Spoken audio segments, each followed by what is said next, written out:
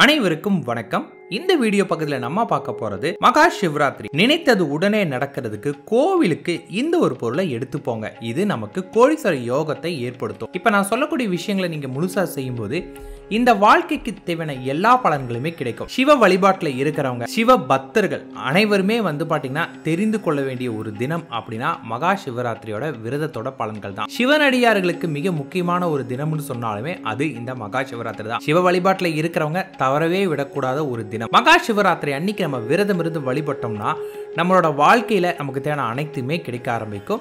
மற்றும் சிவன அருள் முழுமையாக கிடைக்கிறதுக்கும் இந்த ஒரு தினம் போதுமானதாக இருக்கும். மகா சிவராத்திரி அன்னைக்கு கண் விழித்து சிவபெருமானை வணங்கினா நம்ம செய்த எப்பேற்பட்ட பாவங்களும் நம்மளை விட்டு கரைந்து காணாம போயிடும். அடுத்த மூன்று ஆண்டுகள் நம்ம எதிர்பார்க்குற அளவுக்கு மகத்தான செல்வ வளம் நம்மளை வந்து சேரும்.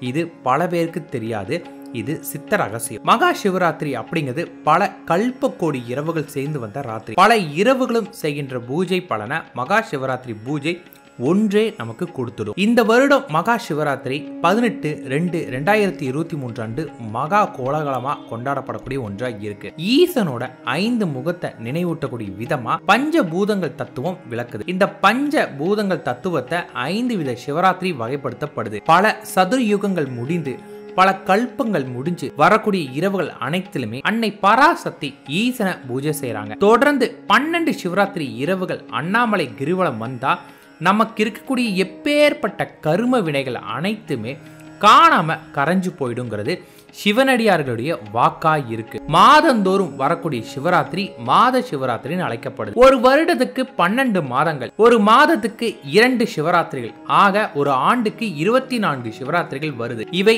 வளர்ப்பிறை சதுர்த்தி தேய்பிறை சதுர்த்தி திதி நித்திய சிவராத்திரி குறிப்பிடப்படும். தை மாதத்துல வரக்கூடிய தேய்பிறை சிவராத்திரி தான் பச்சை சிவராத்திரியா குறிப்பிடுவாங்க. அதே போலதான் திங்கட்கிழமை அன்னைக்கு சதுர்த்தி திதி பகலும் இரவும் அறுபது நாளிகள் சேர்ந்து வந்தா அதுதான் யோக சிவராத்திரி. இந்த சிவராத்திரி இந்த வருடமும் வருது. இது மிகப்பெரிய ஒன்று. யோகியர் மறந்திடாத சிவராத்திரியா? இதை குறிப்பிடுது. நம்ம ஒரு யோக சன்னியாசியாக மாற்றக்கூடியது யோக தன்மை நமக்கு கொடுக்கக்கூடியது அல்லது இல்வாழ்க்கை சந்தோஷத்தை கொடுக்கக்கூடிய ஒன்று தான் இந்த யோக சிவராத்திரி இந்த வருடம் வருது. மாசி மாதத்தில் வரக்கூடிய தேய்பிற சதுர்த்தி இரவு தான் மகா சிவராத்திரி. இவை தான் ஏதாவது ஒரு சிவராத்திரி விரதம் நம்ம இருந்தாவே இந்த மனித பிறவி எடுத்தமைக்கான பலனை நம்ம அடைய முடியும் அப்படின்னு அகத்திய பெருமான் குறிப்பிட்டிருக்காரு. மகா சிவராத்திரி பூஜையால பெண்களுக்கு இழைத்த துரோகம் பெண்களுக்கு செய்த சாபம் பெண்களுக்கு இழைத்த கொடுமை நீங்க ஆரம்பிக்கும். அது போல ஒரு பெண் தன்னுடைய கணவனுக்கு துரோகம் செய்திருந்தா தான் செய்த தவற உணர்ந்து திருந்தி இந்த சிவராத்திரி பூஜை செய்தா கணவனுக்கு செய்த துரோகம் மறைஞ்சிட்டோன்னு மகா சிவ புராணம் குறிப்பிடுது. சிவராத்திரி தினத்துக்கு முதல் நாளோ அல்லது அதற்கு அடுத்து இரண்டு மூன்று நாட்களுக்கு முன்போ நாம் நம்ம மனதளவுல தயார்படுத்திக்கணும். அந்த நாட்கள்ல அசைவ உணவுகள் முற்றிலும் தவிர்த்திடணும். ஏன்னா நமக்கு ஒவ்வாத உணவுகள் சாப்பிட்ட பின்னாடி சிவராத்திரி விரதம் நம்ம இருந்தா வயிற்று பிரச்சனைகள் ஏற்படும். அதனால குறைஞ்சபட்சம் ஒரு மூன்று நாட்களுக்கு முன்பே அசைவ உணவுகள் தவிர்க்கிறது நல்லது. மகா சிவராத்திரி விரதமானது யம பயத்தை நீக்கும். இது சிவனடியார்களை யம தூதர்கள் நெருங்கவே அஞ்சுவாங்கன்னு சிவபுராணம் குறிப்பிடுது. சிவராத்திரியோட நான்காம் காலத்துல மித்ருஞ்சய மந்திரம் ஓதுறதால எப்பேற்பட்ட நோய்கள் அனைத்தும் விலகும். சிவராத்திரி அன்னைக்கு தான தர்மங்கள் செய்தா பல கோடி புண்ணியம் நமக்கு கிடைக்கும். சிவலிங்கம் ருத்ராட்சம் ரத்தினங்கள் நிவேத பொருட்கள் அன்னதானம் செய்யலாம். இது நம்மளோட வாழ்க்கையை உயர்த்தும். இந்த நாளில் நீங்கள் கோவிலுக்கு கொடுக்கக்கூடிய கோவிலுக்கு ஒரு சின்ன அபிஷேகம் கொடுக்கக்கூடிய ஒரு பொருள்.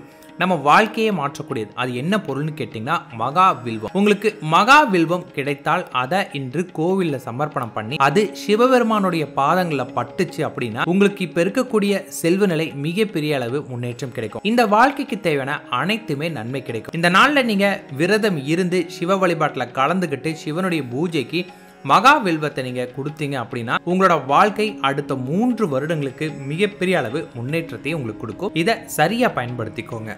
அனைவருமே சந்தோஷமான வாழ்க்கை சிவனுடைய அருளோட இருப்பீங்க. நன்றி வணக்கம்.